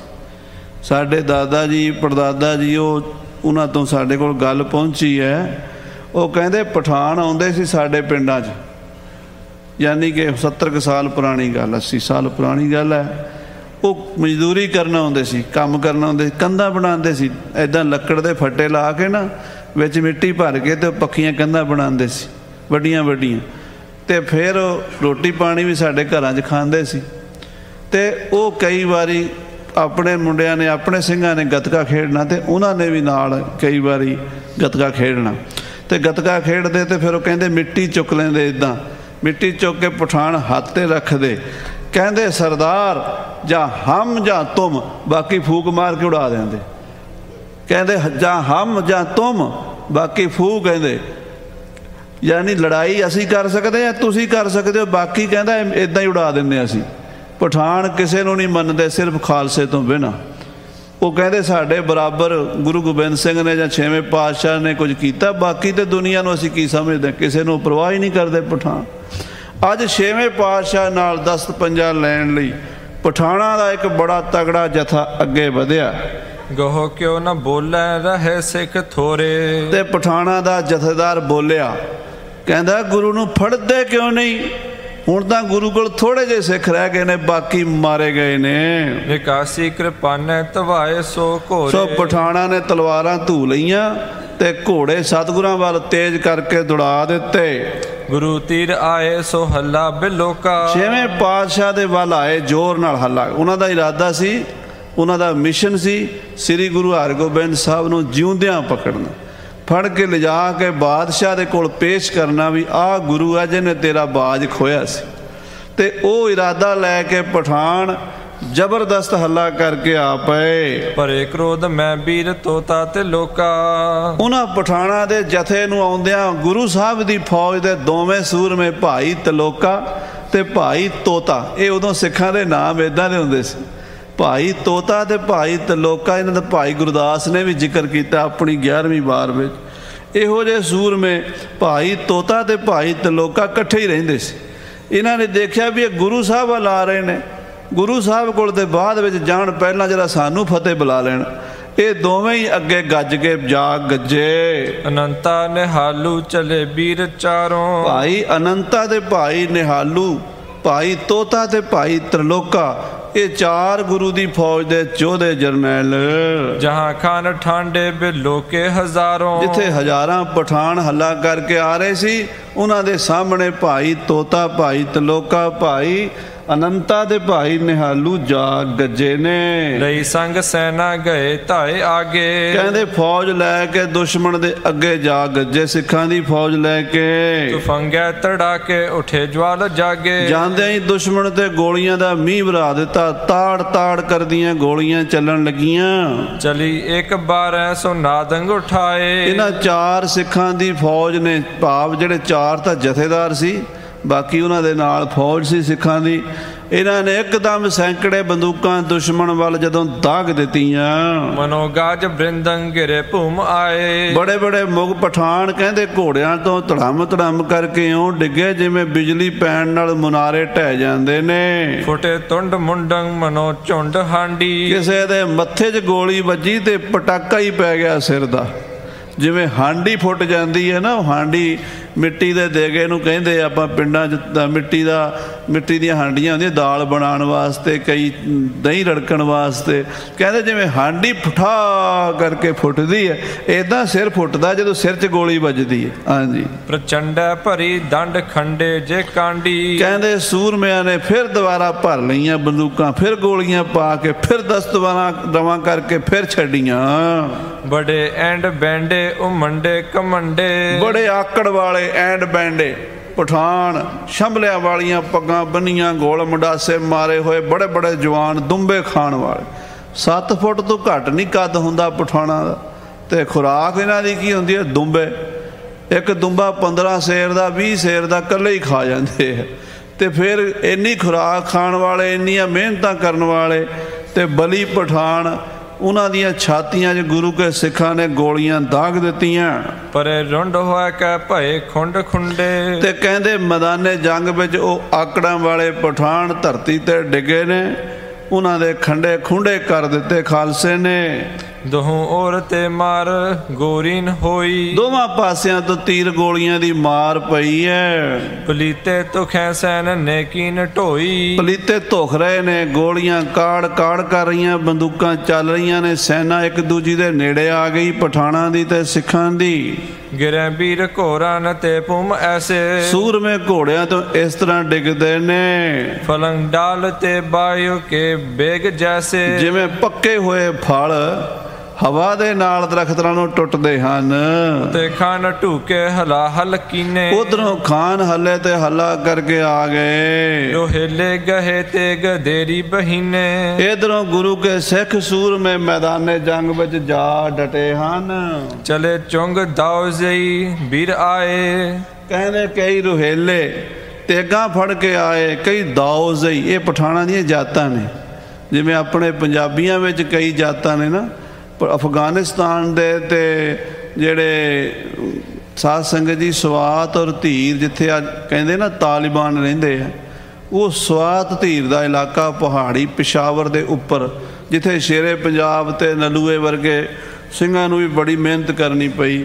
ਉਹ ਪਠਾਨ ਦਾਊਜ਼ਈ ਪਠਾਨ, ਰੁਹੇਲੇ ਪਠਾਨ, ਕਈ ਕਿਸਮ ਦੇ ਉਹ ਚੜ ਕੇ ਆ ਗਏ। ਗੁਰੂ ਸਾਮੋਹੇ ਇਕੱਠੇ ਹੋਏ ਧਾਏ। ਗੁਰੂ ਛੇਵੇਂ ਪਾਤਸ਼ਾਹ ਦੇ ਹਮਲਾ ਕਰ ਰਹੇ ਉਹਨਾਂ ਦਾ ਇਰਾਦਾ ਵੀ ਗੁਰੂ ਸਾਹਿਬ ਨੂੰ ਫੜ ਲਈਏ ਜਾ ਕੇ। ਤਬੈ ਔਰ ਆਗੇ ਨਿਹਾਲੂ ਤੇ ਲੋਕੇ। ਅੱਗੇ ਭਾਈ ਨਿਹਾਲੂ ਤੇ ਭਾਈ ਤਰਲੋਕਾ ਡਟ ਗਏ। ਤੂੰ ਫੰਗੇ ਪ੍ਰਹਾਰੀ ਅਗਾਰੀ ਸੋ ਰੋਕੇ। ਦੁਸ਼ਮਣ ਦੀਆਂ ਛਾਤੀਆਂ 'ਚ ਗੋਲੀਆਂ ਦਾ ਮੀਂਹ ਵਰਾਈ ਗਏ। ਰੋਕ ਲਿਆ ਦੁਸ਼ਮਣ ਜਿਹੜਾ ਚੜ ਕੇ ਆ ਰਿਹਾ ਸੀ ਨਾ ਅਗਾਂ ਨੂੰ ਵੱਧ ਰਿਹਾ ਸੀ, ਸਿੱਖਾਂ ਨੇ ਠੱਲ ਪਾ ਦਿੱਤੀ। ਕਨੇ ਔਰੜੇ ਨਾ ਟਿਕੈ ਧੂਮ ਪਾਏ। ਕਹਿੰਦੇ ਬੜੇ ਜ਼ੋਰ ਨਾਲ ਆਏ ਸੀ ਟਿਕਦੇ ਤੇ ਨਹੀਂ ਸਨ ਉਹ ਪਠਾਨ ਪਰ ਸਿੱਖਾਂ ਨੇ ਟਿਕਾ ਲਏ। ਤਬੈ ਵੀਰ ਤੋਤਾ ਅਨੰਤਾ ਸੋ ਆਏ। ਭਾਈ ਅਨੰਤਾ ਤੇ ਭਾਈ ਤੋਤਾ ਵੀ ਉੱਥੇ ਆ ਗਏ। ਕਿਰਪਾਨੈ ਨਿਕਾਸੀ ਤੋ ਫੰਗਾ ਨ ਛੋਰੀ। ਹੁਣ ਦੁਸ਼ਮਣ ਦੇ ਨੇੜੇ ਆ ਗਏ ਇਸ ਕਰਕੇ ਬੰਦੂਕ ਚਲਦੀ ਨਹੀਂ ਤਲਵਾਰਾਂ ਧੂ ਲਈਆਂ। ਭਈ ਹਾਲ ਹੂਲੰ ਚਲੈ ਬਨ ਗੋਰੀ। ਹੱਲੇ ਤੇ ਹੱਲਾ ਤੇ ਗੋਲੀਆਂ ਤੀਰ ਤਲਵਾਰਾਂ ਚੱਲਣ ਉਸੇ ਤਰ੍ਹਾਂ ਚੱਲ ਰਹੀਆਂ ਨੇ। ਤਕਾ ਧੱਕ ਹੋਈ ਹਕਾ ਹਕ ਬਾਜੀ। ਤੱਕਾ ਤੱਕ ਹੋਈ ਇਧਰੋਂ ਉਹ ਤੱਕਦੇ ਨੇ ਉਧਰੋਂ ਉਹ ਤੱਕਦੇ ਨੇ ਇੱਕ ਦੂਜੀ ਨੂੰ ਧੱਕੇ ਮਾਰਦੇ ਨੇ ਲਹੂ ਲੁਹਾਨ ਹੋ ਗਏ ਨੇ। ਲਟਾਪਟ ਜੁੱਟੇ ਖਿਲੈ ਜੰਗ ਬਾਜੀ। ਕਹਿੰਦੇ ਜੰਗ ਦੀ ਬਾਜੀ ਖੇਡ ਰਹੇ ਨੇ ਸੂਰਮੇ। ਸਟਾ ਸੱਟ ਸੇਲੇ ਭਈ ਰੇੜ ਪੇਲਾ। ਕਹਿੰਦੇ ਬਰਛੇ ਸਟਾ ਸੱਟ ਵੱਜਦੇ ਨੇ ਢਾਲਾਂ ਚੀਰ ਕੇ ਲੰਘ ਜਾਂਦੇ ਨੇ ਪਾਈਆਂ ਹੋਈਆਂ ਸੰਜੋਆਂ ਪਾੜ ਦਿੰਦੇ ਨੇ ਬਰਛੀਆਂ ਨਾਲ। ਕਰਾ ਚੋਲ ਭਾਲੇ ਹਲਾ ਚਾਲ ਮੇਲਾ। ਖੰਡੇ ਭਾਲੇ ਬਰਛੇ ਨੇਜੇ ਇੱਕ ਦੂਜੀ ਦੇ ਲਹੂ ਚ ਤਾਰੀਆਂ ਲਾ ਰਹੇ ਨੇ। ਦੋ ਚੋਬੈ ਬਜਦੀ ਧੌਂਸੇ ਤੁੰਕਾਰੇ ਦੋਰੇ ਨਗਾਰੇ ਤੇ ਦੋਰੀਆਂ ਚੋਭਾਂ ਵੱਜ ਰਹੀਆਂ ਨੇ ਧੌਂਸੇ ਤੁੰਘਾਰਦੇ ਨੇ। ਲੱਖ ਨਗਾਰੇ ਵੱਜਣ ਆਮੋ ਸਾਹਮਣੇ। ਚੰਡੀ ਦੀ ਵਾਰ ਦਸਵੇਂ ਪਾਤਸ਼ਾਹ ਲਿਖਦੇ ਲੱਖ ਨਗਾਰੇ ਵੱਜਣ ਆਮੋ ਸਾਹਮਣੇ ਰੱਖ ਸ਼ਰਣੋਂ ਨਾ ਭੱਜਣ, ਰੋਹੇ ਰੋਹਲੇ ਸ਼ੀਆਂ ਵਾਂਗੂ ਗੱਜਣ ਸਭੇ ਸੂਰਮੇ। ਤਣ ਤਣ ਕੈਬਰ ਛੱਡਣ ਦੁਰਗਾ ਸਾਹਮਣੇ। ਇਦਾਂ ਮੈਦਾਨੇ ਜੰਗ ਵਿੱਚ ਸੂਰਮੇ ਲੜ ਰਹੇ ਨੇ। ਲਗੇ ਢੋਲ ਡੰਕੇ ਉਠਿਓ ਨਾਦ ਭਾਰੇ। ਢੋਲਾਂ ਤੇ ਡੰਕੇ ਵੱਜੇ ਢੋਲੀਆਂ ਨੇ ਇਹੋ ਜਿਹੇ ਢੰਗ ਢੰਗ ਨਾਲ ਢੋਲ ਵਜਾਇਆ ਹੈ ਵੀ ਸੂਰਮਿਆਂ ਦੇ ਡੋਲੇ ਫਰਕਦੇ ਨੇ। ਮਿਲੇ ਆਪ ਮਾਹੀ ਹਥਾ ਵਥ ਹੋਏ। ਔਰ ਹੱਥੋਂ ਹੱਥੀ ਤੇਗਾਂ ਖੜਕ ਰਹੀਆਂ ਨੇ ਕਟਾਰਾਂ ਚੱਲ ਰਹੀਆਂ ਨੇ ਗੁੱਥਮ ਗੁੱਥਾ ਹੋ ਗਏ ਨੇ ਸੂਰਮੇ। ਪਟੇ ਬਾਜ ਵਿਦਿਆ ਕਰੈ ਵੀਰ ਢੋਏ। ਪਟੇ ਬਾਜੀ ਦੀ ਗਤਕੇ ਦੀ ਵਿਦਿਆ ਜਿਹੜੀ ਹੈ ਪੈਂਤੜਾ ਬਦਲ ਕੇ ਵਾਰ ਕਰਨਾ ਪੈਂਤੜਾ ਬਦਲ ਕੇ ਰੋਕਣਾ ਸਾਧ ਸੰਗਤ ਜੀ ਗਤਕੇ ਵਿੱਚ ਸਭ ਤੋਂ ਜ਼ਰੂਰੀ ਪੈਂਤੜਾ ਹੁੰਦਾ। ਜਿਹਨੂੰ ਪੈਂਤੜਾ ਆਉਂਦਾ ਉਹ ਮਾਰ ਨਹੀਂ ਖਾਂਦਾ। ਤੇ ਸੂਰਮੇ ਪਟੇ ਬਾਜੀ ਦੀ ਵਿਦਿਆ ਸ਼ਸਤਰ ਵਿਦਿਆ ਦੇ ਕਮਾਲ ਦਿਖਾ ਰਹੇ ਨੇ। ਬਲੀ ਬੇਗ ਕੋ ਧਾਏ ਮਾਰਿਓ ਤੇ ਲੋਕੇ। ਭਾਈ ਤਰਲੋਕਾ ਦੌੜ ਕੇ ਗਿਆ ਫੁਰਤੀ ਨਾਲ ਜਿਵੇਂ ਚੀਤਾ ਸ਼ਿਕਾਰ ਤੇ ਜਾਂਦਾ। ਸਾਹਮਣੇ ਬਲੀ ਬੇਗ ਸੀਗਾ। ਬਲੀ ਬੇਗ ਤੁਰਕਾਂ ਦੀ ਫੌਜ ਦਾ ਵੱਡਾ ਜਰਨੈਲ ਸੀ। ਜਾਂਦਿਆਂ ਤਰਲੋਕੇ ਨੇ ਦੋ ਟੋਟੇ ਕਰ ਦਿੱਤਾ। ਕਰਾ ਝੋਲ ਬਾਹਿਓ ਬਲੀ ਪਾਸ ਹੋ ਕੇ। ਨੇੜੇ ਹੋ ਕੇ ਤਲਵਾਰ ਵਾਈ ਜ਼ੋਰ ਦੀ ਛੰਡੀ। ਅਦੋ ਆਦ ਚੀਰਾ ਗਿਰਿਓ ਛੋਰ ਘੋਰਾ। ਇਧਰੋਂ ਮਾਰੀ ਤਲਵਾਰ।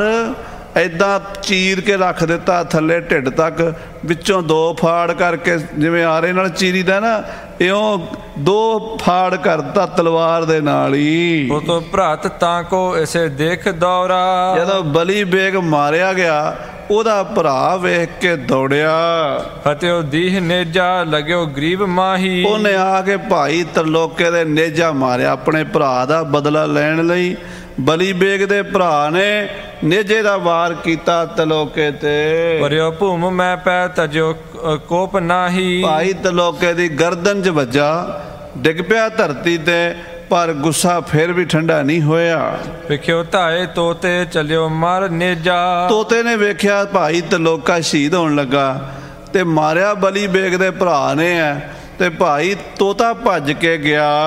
ਕਹਿਓ ਹੋ ਠਾਂਡੇ ਨਹੀਂ ਵਾਰ ਲੇਜਾ। ਬਲੀ ਬੇਗ ਦੇ ਭਰਾ ਨੂੰ ਤੋਤਾ ਕਹਿੰਦਾ ਠਹਿਰ ਜਾ ਜਿਹੜਾ ਤੂੰ ਨਿਉਂਦਾ ਪਾ ਚੱਲਿਆ ਨਾਲ ਹੀ ਲੈ ਜਾ ਕਿਤੇ ਉਧਾਰ ਨਾ ਰਹਿ ਜਾਵੇ। ਸੰਭਾਰੀ ਤਫੰਗੰ ਹਤੀ ਤਾਕ ਗੋਰੀ। ਤੇ ਭਾਈ ਤੋਤੇ ਨੇ ਬੰਦੂਕ ਸੰਭਾਲ ਕੇ ਗੋਲੀ ਚਲਾ ਦਿੱਤੀ। ਦਇਓ ਫੋਰ ਮਾਥਾ ਮਰਿਓ ਪ੍ਰਾਨ ਛੋਰੀ। ਬਲੀ ਬੇਗ ਦੇ ਭਰਾ ਨੂੰ ਵੀ ਭਰਾ ਦੇ ਪਿੱਛੇ ਹੀ ਤੋੜ ਦਿੱਤਾ।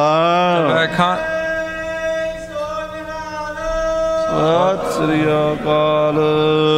ਤਬੈ ਖਾਨ ਜ਼ੈਨਾ ਪਿਖਿਆ ਦੋਏ ਮਾਰੇ। ਜਦੋਂ ਜੈਨ ਖਾਨ ਨੇ ਵੇਖਿਆ ਵੀ ਦੋ ਵੱਡੇ ਜਰਨੈਲ ਬਲੀ ਬੇਗ ਤੇ ਉਹਦਾ ਭਰਾ ਮਾਰ ਦਿੱਤੇ ਸਿੱਖਾਂ ਨੇ। ਤਿਨੋ ਤੇ ਹਮਾਰੇ ਬੜੇ ਵੀਰ ਹਾਰੇ। ਇਹਨਾਂ ਤੋਂ ਸਾਡੇ ਬੜੇ ਯੋਧੇ ਮਾਰੇ ਗਏ ਨੇ ਤੋਤੇ ਤੇ ਤਲੋਕੇ ਨੇ ਬੜਾ ਨੁਕਸਾਨ ਕੀਤਾ ਸਾਡਾ। ਤੋ ਰੰਗੰ ਤਵਾਇਓ ਅਯੋ ਤੀਰ ਤੋਤੇ। ਜੈਨ ਖਾਨ ਤੋਤੇ ਦੇ ਕੋਲ ਆ ਗਿਆ।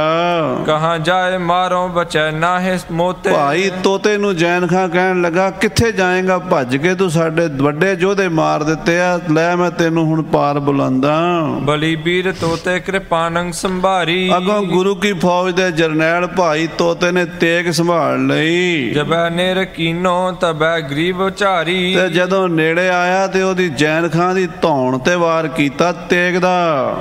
ਗਹੇ ਹੱਥ ਖਗੰ ਗਿਰਿਓ ਜ਼ੈਨ ਖਾਨਾ। ਕਹਿੰਦੇ ਜੈਨ ਖਾਂ ਦੀ ਢਾਲ ਤਲਵਾਰ ਹੱਥ ਵਿੱਚ ਹੀ ਰਹਿ ਗਈ। ਸਿਰ ਉੱਪਰ ਨੂੰ ਉੱਡ ਗਿਆ ਤੇ ਧੜਮ ਕਰਕੇ ਉਹਦੀ ਲਾਸ਼ ਜ਼ਮੀਨ ਤੇ ਡਿੱਗੀ। ਮਲੇਛਾਂ ਨੇ ਦੇਖਿਓ ਹਤੇ ਦੋਏ ਜਵਾਨਾ ਜਦੋਂ ਮਲੇਸ਼ਾ ਨੇ ਵੇਖਿਆ ਵੀ ਜੈਨ ਖਾਂ ਬਲੀ ਖਾਂ ਵਰਗੇ ਸੂਰਮੇ ਬਲੀ ਬੇਗ ਵਰਗੇ ਮਾਰੇ ਗਏ ਨੇ। ਚਲਾਈ ਤੁਫੰਗੈ ਇਕੈ ਬਾਰ ਬ੍ਰਿੰਦੰ ਉਹਨਾਂ ਨੇ ਇੱਕੋ ਵਾਰ ਗੋਲੀਆਂ ਚਲਾ ਦਿੱਤੀਆਂ ਭਾਈ ਤੋਤੇ ਉੱਤੇ। ਗਿਰਿਓ ਵੀਰ ਤੋਤਾ ਮਹਾਰੋਸ ਬੰਦੰ ਸੈਂਕੜੇ ਗੋਲੀਆਂ ਦੇ ਨਾਲ ਛਾਨਣੀ ਹੋ ਕੇ ਭਾਈ ਸਾਹਿਬ ਤੋਤਾ ਜੀ ਵੀ ਮੈਦਾਨੇ ਜੰਗ 'ਚ ਡਿੱਗ ਪਏ। ਅਨੰਤਾ ਨੇ ਹਾਲੂ ਰੁਪਏ ਵੀਰ ਦੋ। ਹੁਣ ਦੋ ਯੋਧੇ ਰਹਿ ਗਏ ਭਾਈ ਅਨੰਤਾ ਤੇ ਭਾਈ ਨਿਹਾਲੂ ਉਹ ਵੀ ਵੀਰ ਰਸ ਵਿੱਚ ਰੱਤੇ ਜੰਗ ਲੜ ਰਹੇ ਨੇ। ਮਨੋ ਸ਼ੇਰ ਗਾਜੈ ਥਿਰੇ ਜੰਗ ਜੋ। ਐਵੇਂ ਦੋਵੇਂ ਸੂਰਮੇ ਗਰਜਦੇ ਜਿਵੇਂ ਬੱਬਰ ਸ਼ੇਰ ਗਰਜਦਾ ਹੋਵੇ। ਗੁਰੂ ਕੋ ਅਗਾਰੀ ਪ੍ਰਹਾਰੇ ਹਥਿਆਰੰ। ਗੁਰੂ ਸਾਹਿਬ ਦੇ ਸਾਹਮਣੇ ਸ਼ਸਤਰ ਚਲਾ ਕੇ ਆਪਣਾ ਜੀਵਨ ਸਫਲਾ ਕਰ ਰਹੇ ਨੇ। ਮਿਲੇ ਸੈਨ ਮੱਦੇ ਕਰੇ ਮਾਰ ਮਾਰੰ ਦੁਸ਼ਮਣ ਦੀ ਫੌਜ ਵਿੱਚ ਵੜ ਕੇ ਮਾਰੋ ਮਾਰ ਕਰ ਰਹੇ ਨੇ। ਥੱਲੇ ਪਥੱਲੇ ਬੜੇ ਵੀਰ ਬੰਕੇ। ਕਹਿੰਦੇ ਬੜੇ ਬੰਕੇ ਵੀਰ ਜਵਾਨ ਮਾਰ ਛੱਡੇ ਇਹਨਾਂ ਨੇ ਨੰਤੇ ਤੇ ਨਿਹਾਲੂ ਨੇ। ਬਰੀ ਧੂਮ ਭਾਰੀ ਸੰਘਾਰੇ ਨਿਸ਼ੰਕੇ। ਕਹਿੰਦੇ ਬੜੀ ਧੂਮ ਮਚੀ ਹੈ ਦੋਵਾਂ ਪਾਸਿਆਂ ਤੋਂ ਤੇਗਾਂ ਗਹਿ ਗੱਜ ਚੱਲ ਰਹੀਆਂ ਨੇ। ਪਟੰਗ ਅੰਗ ਭੰਗੇ ਕਰੇ ਜੰਗ ਚੰਗੇ। ਸੂਰਮਿਆਂ ਦੇ ਸਰੀਰ ਅੰਗ ਭੰਗ ਹੋ ਕੇ ਲੱਤਾਂ ਬਾਹਾਂ ਵੜੀ ਵੜੀ ਕੇ ਜ਼ਮੀਨ ਤੇ ਡਿੱਗ ਰਹੀਆਂ ਨੇ। ਬੜੇ ਖਾਨ ਖੂਨੀ ਹਨੇ ਸ਼ਰੋਨ ਰੰਗੇ। ਬੜੇ ਖੂਨੀ ਖਾਨ ਲਹੂ ਦੇ ਨਦੀਆਂ 'ਚ ਰੋੜ ਦਿੱਤੇ ਨੇ ਮਾਰ ਦਿੱਤੇ ਨੇ ਭਾਈ ਅਨੰਤੇ ਨਿਹਾਲੂ ਨੇ। ਭਾਈ ਤਲੋਕਾ ਤੇ ਭਾਈ ਤੋਤਾ ਸ਼ਹੀਦ ਹੋ ਗਏ ਨੇ। ਵਿਖਿਓ ਦਾਨ ਕੋ ਵੀਰ ਬ੍ਰਿੰਦੰਗੇ ਰਾਏ। ਜਦੋਂ ਇਹਨਾਂ ਦੋਵਾਂ ਨੂੰ ਵੇਖਿਆ ਮੁਗਲਾਂ ਨੇ ਵੀ ਇਹਨਾਂ ਨੇ ਸਾਡੀ ਬਹੁਤ ਫੌਜ ਮਾਰ ਦਿੱਤੀ ਅਨੰਤੇ ਤੇ ਨਿਹਾਲੂ ਨੇ। ਖੁਸ਼ੀ ਸ੍ਰੀ ਗੁਰੂ ਕੀਨ ਸਾਧੂ ਤੇ ਅਲਾਏ ਗੁਰੂ ਹਰਗੋਬਿੰਦ ਸਾਹਿਬ ਖੁਸ਼ੀ ਵਿੱਚ ਆ ਕੇ ਜਕਾਰਾ ਖੁਸ਼ੀ ਦਾ ਗਜਾ ਕੇ ਹੌਸਲਾ ਵਧਾ ਦਿੱਤਾ ਇਹਨਾਂ ਦਾ। ਸ਼ਾਬਾਸ਼ ਸ਼ਾਬਾਸ਼ ਕਹਿ ਕੇ ਛੇਵੇਂ ਪਾਤਸ਼ਾਹ ਨੇ ਭਾਈ ਅਨੰਤੇ ਦੇ ਭਾਈ ਨਿਹਾਲੂ ਨੂੰ ਦੁੱਗਣਾ ਚੌਗਣਾ ਕਰ ਦਿੱਤਾ। ਸੋਈਆ ਵੀਰ ਬਹਾਦਰ ਖਾਨ ਪਿਖੇ ਜਦੋਂ ਵੀਰ ਬਹਾਦਰ ਖਾਨ ਆਇਆ ਜਗ ਸੂਰ ਗੁਰੂ ਕੇ ਫਿਰੇ ਸੋ ਪ੍ਰਹਾਰ ਬਹਾਦਰ ਖਾਨ ਨੇ ਵੇਖਿਆ ਵੀ ਗੁਰੂ ਦੀ ਫੌਜ ਦੇ ਦੋ ਯੋਧੇ ਸਾਡੀਆਂ ਫੌਜਾਂ ਦੇ ਆਹੂ ਲਾਈ ਜਾਂਦੇ ਨੇ। ਸਾਡੀਆਂ ਫੌਜਾਂ ਮੁਕਾਈ ਜਾਂਦੇ ਨੇ।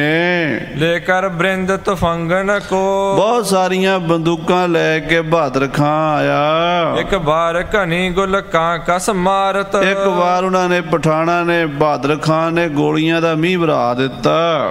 ਯੋ ਉਥ ਲਾਏ ਦੀਏ ਭਟ ਪੁੰਜ। ਉਹਨੇ ਬਹੁਤ ਸਾਰੇ ਸਿੱਖ ਸ਼ਹੀਦ ਕਰ ਦਿੱਤੇ।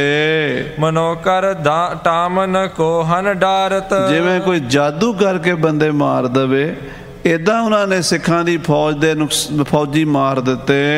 ਸ੍ਰੀ ਹਰ ਗੋਬਿੰਦ ਧਾਰ ਆਨੰਦ ਬੜੇ। ਗੁਰੂ ਹਰਗੋਬਿੰਦ ਸਾਹਿਬ ਬੜੇ ਹੌਸਲੇ ਨਾਲ ਖੜੇ ਨੇ। ਬਟ ਆਪਨੇ ਕੋ ਲਲਕਾਰਤ।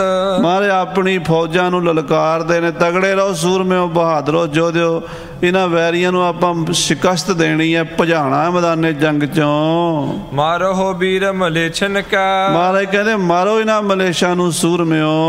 ਸੁਨ ਕੈ ਗੁਰਵਾਕ ਭਰੇ ਭਟ ਧਾਈ। ਗੁਰੂ ਸਾਹਿਬ ਦਾ ਬਚਨ ਸੁਣ ਕੇ ਸੂਰਮਿਆਂ ਦੇ ਹੌਸਲੇ ਦੁੱਗਣੇ ਚੌਗਣੇ ਹੋ ਜਾਂਦੇ ਤੇ ਦੌੜ ਦੌੜ ਕੇ ਦੁਸ਼ਮਣ ਦੇ ਗਲ ਪੈਂਦੇ ਨੇ।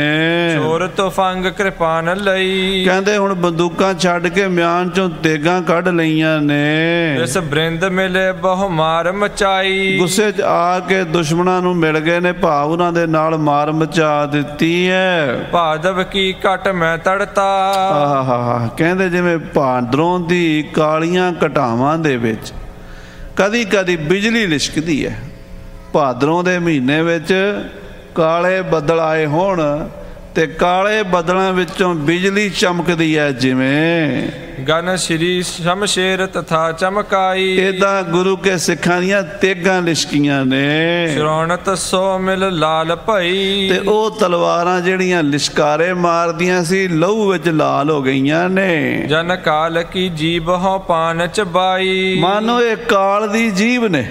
ਆ ਜਿਹੜੀ ਤਲਵਾਰ ਹੈ ਨਾ ਸ੍ਰੀ ਭਗਉਤੀ ਜੀ ਸਹਾਏ ਵਾਰ, ਸ੍ਰੀ ਭਗਉਤੀ ਜੀ ਕੀ ਪਾਤਸ਼ਾਹੀ ਦਸਵੀਂ ਰੋਜ਼ ਪੜ੍ਹਦੇ ਆ। ਪ੍ਰਥਮ ਭਗਉਤੀ ਸਿਮਰਕ ਹੈ ਇਹ ਕਾਲ ਦੀ ਜੀਵ ਹੈ, ਇਹ ਮੌਤ ਦੀ ਜੀਵ ਹੈ। ਤੇ ਇਹ ਫਿਰ ਲਾਲ ਰੰਗ ਦੀ ਹੋ ਗਈ ਹੈ ਆਏ ਬਹਾਦਰ ਖਾਨ ਪਰਿਓ।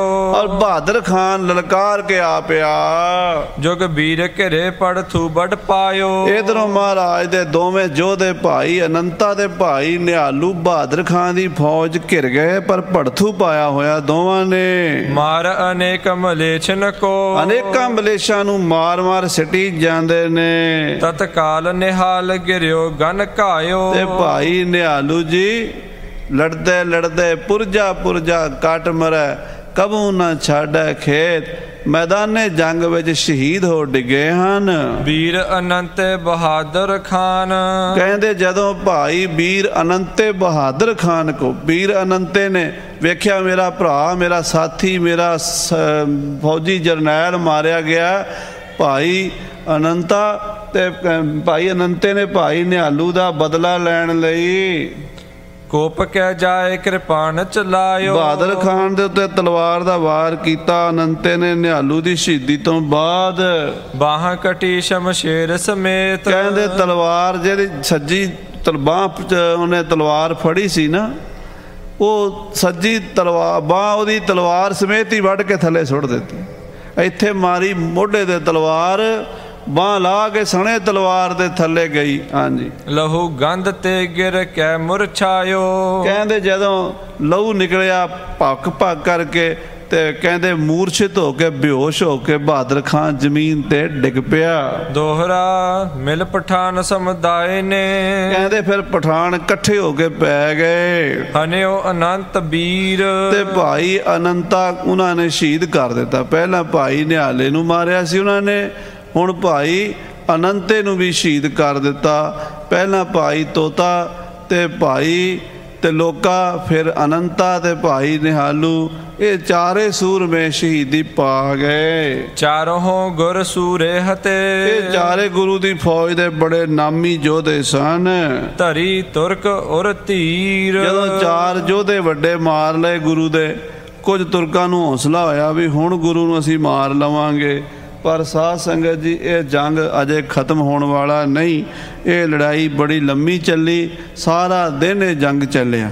ਤੇ ਇਹਦਾ ਸਾਰਾ ਵਰਣਨ ਜਿਹੜਾ ਵਿਸਥਾਰ ਦੇ ਨਾਲ ਮਹਾਕਵੀ ਰਾਜ ਭਾਈ ਸਾਹਿਬ ਸੰਤੋਖ ਸਿੰਘ ਸਾਹਿਬ ਜੀ, ਸ੍ਰੀ ਗੁਰਪ੍ਰਤਾਪ ਸੂਰਜ ਗ੍ਰੰਥ ਦੇ ਅੰਦਰ ਕਰ ਰਹੇ ਨੇ। ਆਪਾਂ ਅਗਲੇ ਪ੍ਰਕਰਣਾਂ ਵਿੱਚ ਸਰਵਣ ਕਰਾਂਗੇ। ਸਮੇਂ ਦੇ ਲਿਹਾਜ਼ ਨਾਲ ਸਮਾਪਤੀ ਹੈ। ਹੇ ਗੋਬਿੰਦ।